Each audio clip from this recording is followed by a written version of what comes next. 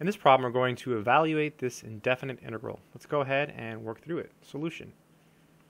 So this problem is really interesting because it doesn't fit uh, the patterns that we've been seeing. So we know that if we have an even power of secant, we can save secant squared. And if we have an odd power of tangent, we can save a secant tangent. And that will usually give, get us to the right answer. However, in this problem, um, none of those things happen, right? We have an even power of tangent and an odd power of secant. So the one thing I'm thinking that we can do that will work is to use an identity. So we know that 1 plus tangent squared x is equal to the secant squared of x. So we could solve this for tangent squared by subtracting 1. That would give us tangent squared of x is equal to secant squared of x minus 1. So maybe a good idea is to use this identity and then see what happens. So let's go ahead and try it. So we have 16 parentheses secant squared x minus 1 all divided by secant x dx. Let's go ahead and distribute the 16. This is 16 secant squared x minus 16 over secant x dx.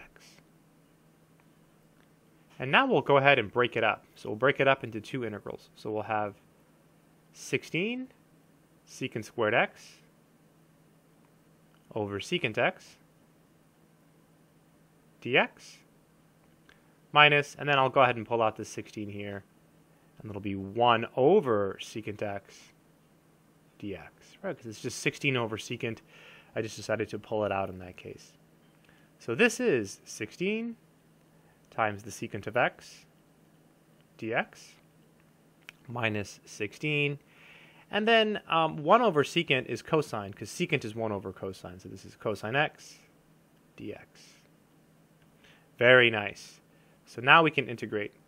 So the integral of secant is the natural log of the absolute value of secant plus tangent. Super important formula to know. So this is the natural log of the absolute value of secant x plus tangent x. Worth knowing uh, for sure. Really, really useful. This formula comes up a lot. So when you integrate secant, you get the natural log of secant plus tangent minus, and then 16.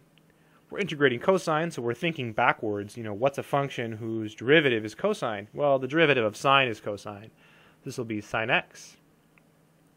And then we still have our constant of integration, uh, capital C. And that would be the final answer in this problem. I hope this video has been helpful. Take care.